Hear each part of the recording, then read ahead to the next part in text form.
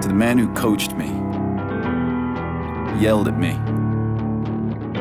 supported me. To the man who cheered me on, slapped me on the back, stood by me. To the man who made me the man I am today. Gillette, the best a man can get.